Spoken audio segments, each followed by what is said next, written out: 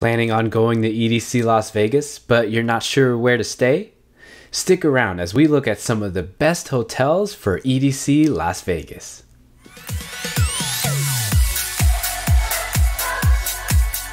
What's up? It's Joe, and I'm your rave tour guide. And today we're talking about the best hotels for EDC Las Vegas. The Electric Daisy Carnival is one of the largest EDM festivals in North America. Originally from Southern California, the massive rave moved to Las Vegas in 2011 and has been a staple in the Las Vegas economy since then. Attracting hundreds of thousands of headliners from across the globe, Las Vegas is well equipped to handle all the ravers coming to town. So, where should you stay if you're going to EDC Las Vegas? Find out in today's video. Now, let's go rave. Hotel number one, Paris, Las Vegas.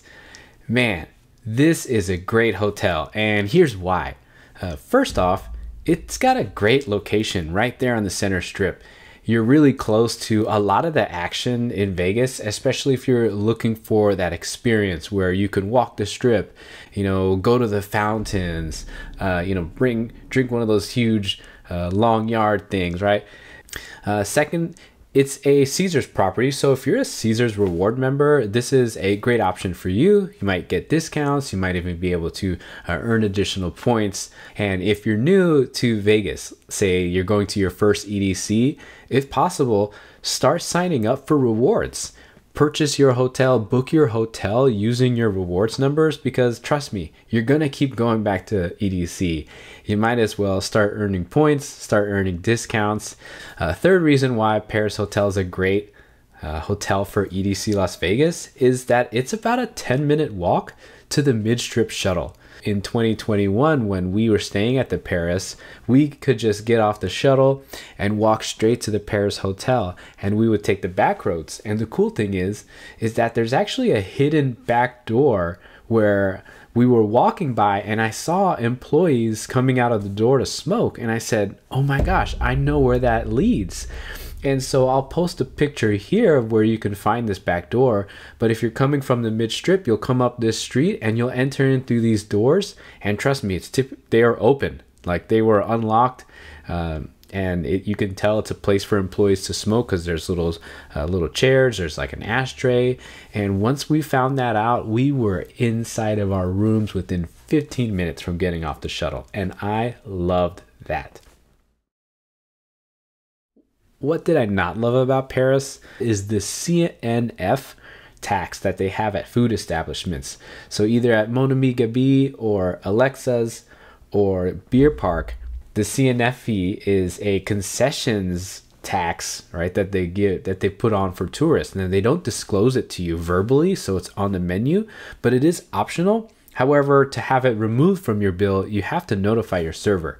So, not a huge fan of that, but if you do decide to stay at Paris for EDC, that's something to think about. Before we talk about hotel number two, I want you to make sure you consider how you're getting to EDC in where you choose your hotel. Are you going to drive to EDC? Are you taking a ride share? Will you be taking the shuttle? Will you be walking? I don't recommend that.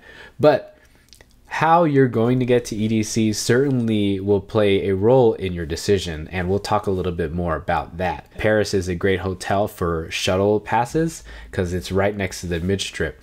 And I I stayed there before, and we did have a shuttle, and I loved the experience. It was great. I would highly recommend. So, hotel number two is the Linq Hotel man, this is a great hotel. And there's a few reasons why I think it's a great hotel for EDC Las Vegas. Right, so, Linq is a very budget friendly hotel. It's one of the most affordable hotels on the strip, especially for its location.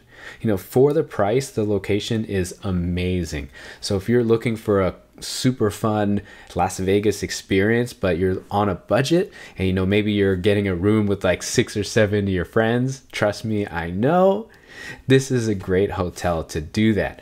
Now, in addition, not only does it have you know really affordable, it's got a great location. Their guest pool is basically a pool party. This pool is their basically their guest pool, but they have a DJ there, and it's free to go. So, and they have a bar.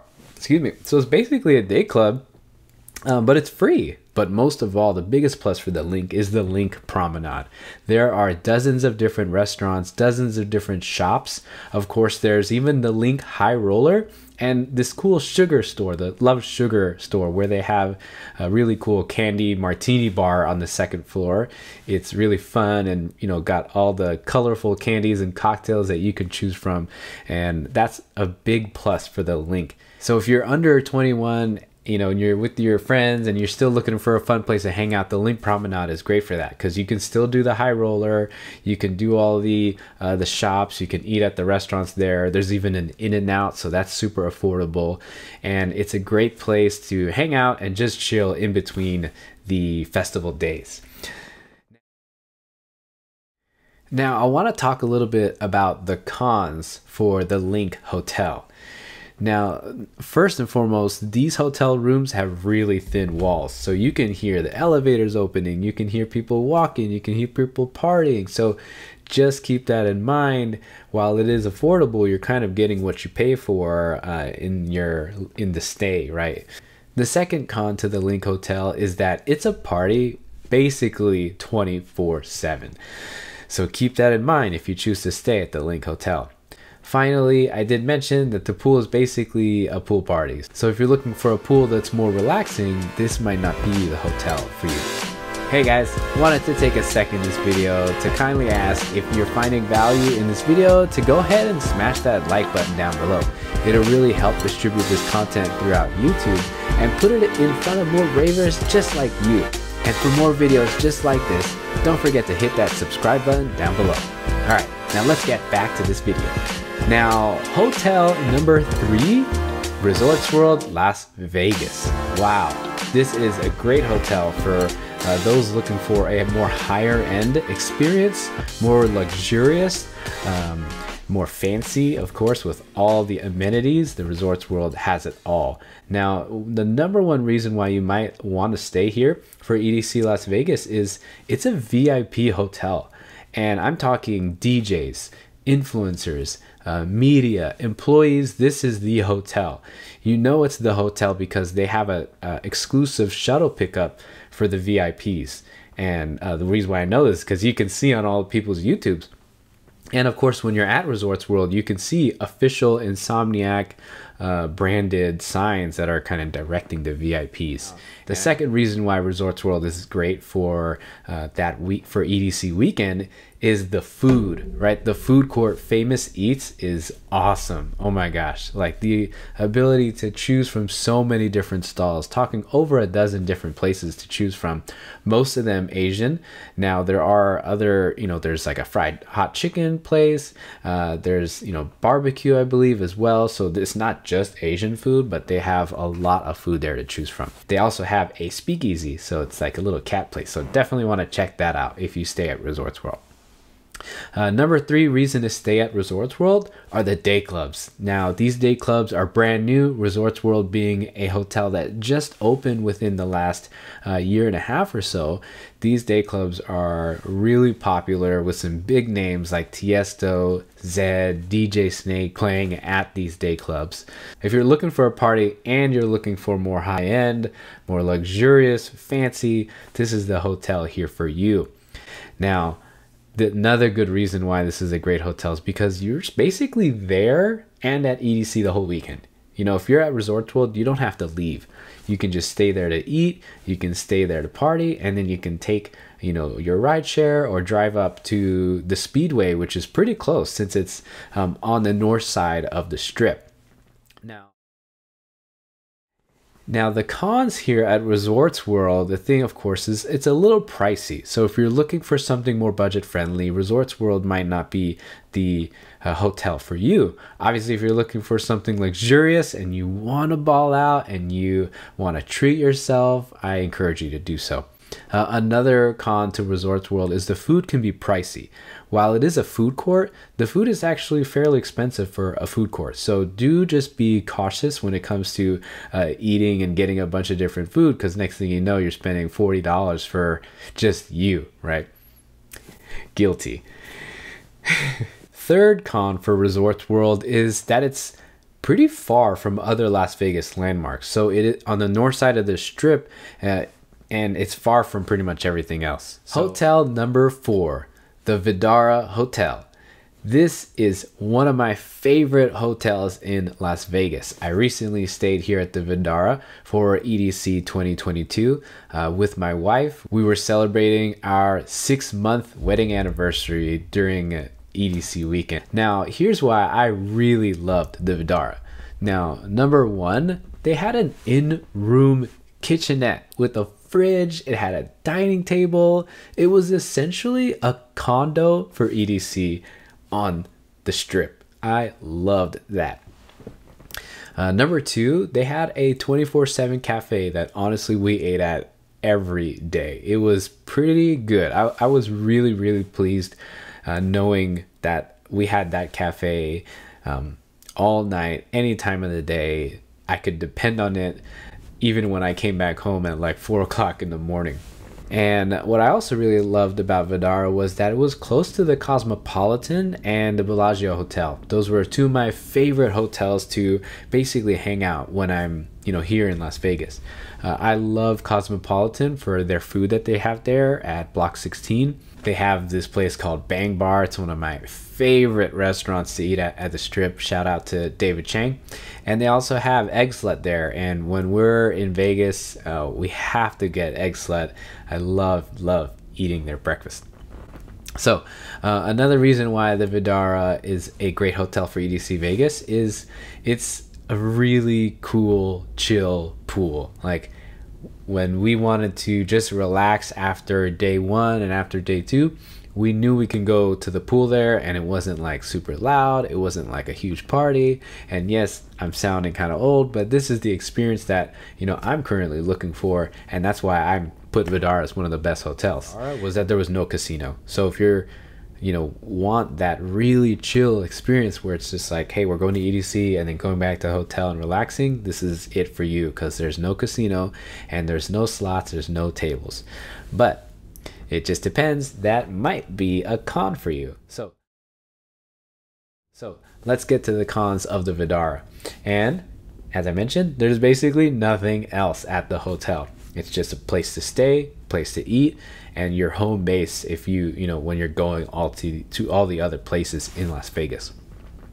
And the biggest con for staying at the Vdara was that you have to park at the Bellagio or at the Aria Hotel. And that sucked because basically, whenever we wanted to go anywhere, we had to walk like 15 to 20 minutes uh, to get to the parking lot.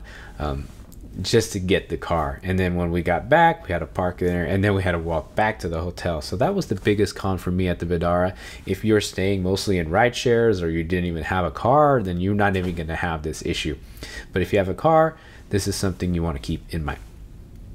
Now, finally, in this last hotel for this video, we're talking about the Luxor. Now, I say one of the best hotels for last. First and foremost, it's one of the most affordable uh, hotels on the strip.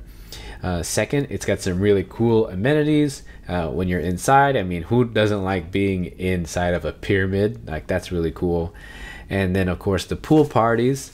Uh, the Luxor is really known for some really fun pool parties. I know some uh, of my friends who go to these pool parties every year and they're always talking about it. Uh, another reason why Luxor is a great place to stay for EDC Vegas is it's where the iHeart Raves pop-up is located. So you can get, you know, your hair braided there, you can find your last minute outfits, you can get all your accessories, you can find, you know, your cool light toys uh, all your rave uh, accessories and gear you can buy at the iHeart Raves pop up that's located at the Luxor. So if you're staying there, it's pretty solid because you're basically right there. Whereas some people, you know, they're having to, uh, you know, wake up from another hotel and then get ready and then drive over to Luxor. It's such a bonus for you to be right there. So especially if you want to get your hair braided, you know, and you're staying at the Luxor, you can book an appointment and you know you're right there. So that's a huge bonus for you. Um, finally, the Luxor uh, Hotel is one of the uh, shuttle stops, so it's perfect. You can just stay at the hotel and you can walk over to your shuttle stop. You don't have to have a huge walking distance to get to your shuttle, so it's a great choice if you are taking a shuttle. Now, now what are the cons for staying at Luxor?